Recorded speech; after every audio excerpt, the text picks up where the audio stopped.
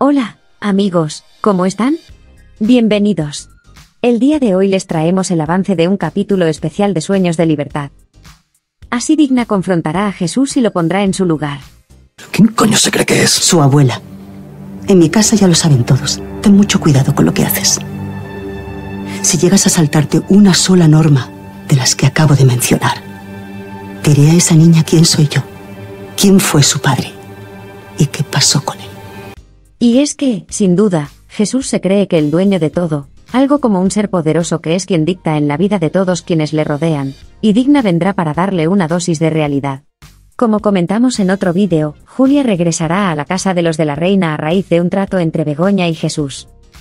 Veníamos viendo que de un Jesús que tenía todo controlado pasamos a ver un Jesús que no salía de un problema para meterse en otro, perdió todo en una caída estrepitosa, pero ahora estamos viendo cómo lentamente vuelve a tener poder, pero parece que este poder se le ha subido a la cabeza demasiado pronto, pues se cree con el derecho de decidir qué hacer, por ejemplo, con Julia, dándose atribuciones que no le corresponden, como alejar a la niña de su abuela de sangre, sabiendo que la única razón por la que tiene la patria potestad de Julia es porque asesinó a sus verdaderos padres, y que le ha hecho más daño que bien a la pequeña niña.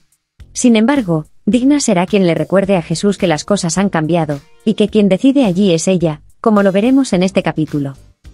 Pero antes de comenzar, podemos hablar brevemente entre el conflicto que llevamos viendo entre Digna y Jesús, por parte de Digna está más que claro, ella no puede más que repudiar a Jesús por ser el vil asesino de su hijo, además de todo el daño que le ha hecho a su familia, pero hablemos sobre Jesús, a pesar de que Digna fue una gran figura en su vida y estuvo presente en su crianza, hemos podido evidenciar que Jesús detesta a Digna, básicamente porque debido a ella él dejó de tener control sobre Damián. Él considera que Digna se ha entrometido demasiado en su familia y la culpa de su caída. Todo comenzó en el momento en que su padre se iba a casar con ella, y no suficiente con hacerla la señora de la casa, cosa que a Jesús no le hacía mucha gracia de por sí, también le quiso dar la mitad de su herencia en el testamento, Jesús enfureció y atacó a su padre, quien debido a sus improperios en contra de su amada decidió castigarlo quitándole la dirección de la empresa, esto enfureció más aún a Jesús quien queriendo recuperar la herencia y su puesto directivo decidió chantajear a su padre con revelar la verdad sobre su implicación en la muerte de Gervasio, pero para su mala suerte,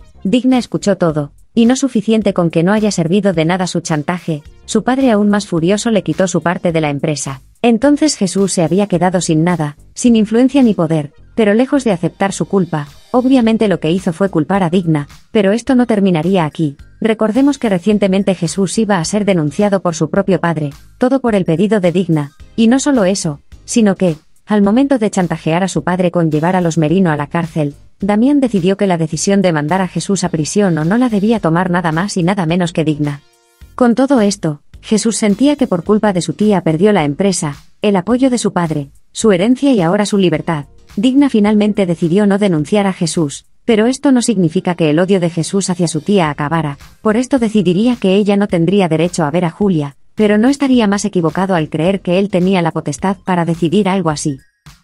Repasado esto, comencemos a comentar este tema. Vemos a Jesús ir al despacho, donde está su padre. Damián de inmediato le pregunta acerca de Julia, pues pensó que estaba con ella. Jesús responde que está en la cocina comiendo. Damián dice que le gustaría ir con la niña en la mañana a Toledo a la mejor pastelería, pero Jesús responde que no, que la niña va a estar con él, la va a llevar a Toledo a la escuela para que se reincorpore en las clases. Damián dice que vaya por la tarde entonces, pero Jesús enojado dice que al parecer ahora para estar con su hija va a tener que sacar cita. Damián le pregunta qué quiere decir, así que Jesús menciona que Andrés también quería salir con Julia a volar cometas. Damián no entiende su enojo, pues dice que debería estar contento de que toda la familia la haya recibido con tanto entusiasmo, pero Jesús dice que le parece demasiado, Damián se ríe y menciona que parece que le molesta que la niña se lleve más protagonismo que él. Jesús responde que no diga tonterías, que no es como él. Entonces le reclama molesto qué hacía digna con la niña. Damián dice irritado, vale, vale, ¿con qué es eso?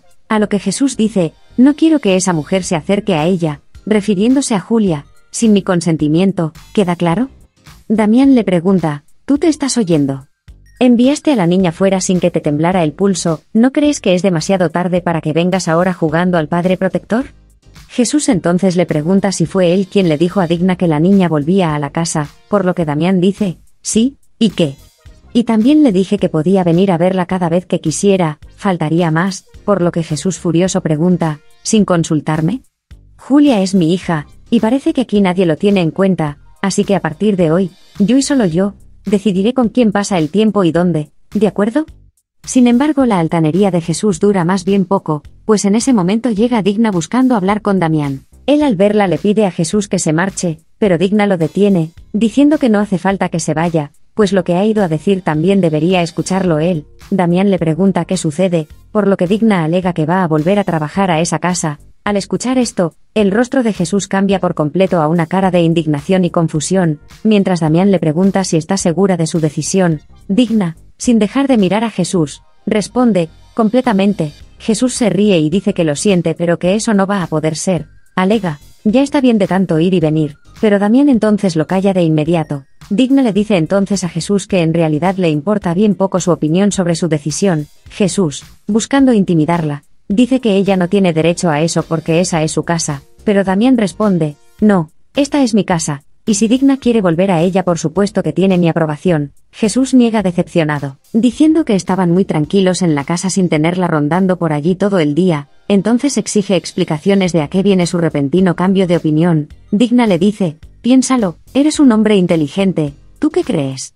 A lo que Jesús responde, mi hija por supuesto, acto seguido, Digna lo corrige, replicando mi nieta, por supuesto, Jesús exige que se vaya a su casa y los deje en paz, por lo que Damián furioso le grita que ni se le ocurra hablarle a Digna en ese tono. Digna entonces dice, quiero volver a esta casa para estar cerca de ella, refiriéndose a Julia, y asegurarme de que no le haces daño. Jesús responde que jamás le ha hecho daño a su hija, pues la ama más que a nada en ese mundo. Esto genera risas burlonas en Digna, que dice que claro, la quiere tanto que a la mínima que pudo la metió a un internado, así que advierte, no vuelvas a alejarla de esta casa, ni hagas planes lejos de Toledo sin que yo lo sepa y te dé mi consentimiento, y por supuesto, no interfieras en su relación con los Merino, ¿entendido? Jesús furioso le pregunta quién se cree ella, a lo que Digna responde, su abuela, en mi casa ya lo saben todos, ten mucho cuidado con lo que haces, porque si llegas a saltarte una sola norma de las que acabo de mencionar le diré a la niña quién soy yo, quién fue su padre y qué pasó con él. Jesús, asustado e indignado, dice que ella no será capaz de hacer eso, pero Digna solo sonríe y dice, Pruébame. Después mira a Damián y menciona que al día siguiente se incorporará al trabajo, y triunfante dice, que tengan buena noche, los señores, digna se va, mientras Jesús lleno de ira se voltea contra su padre, y niega con la cabeza decepcionado e incrédulo.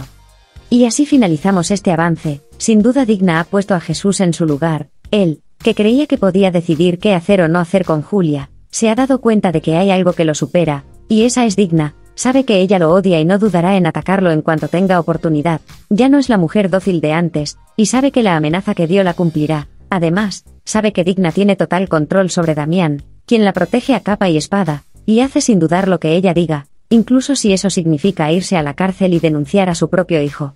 Pero, ¿a ti qué te ha parecido? ¿Jesús ahora está probando de su propia medicina? ¿Se atreverá a hacer algo contra Digna, o se verá obligado a doblegarse ante ella?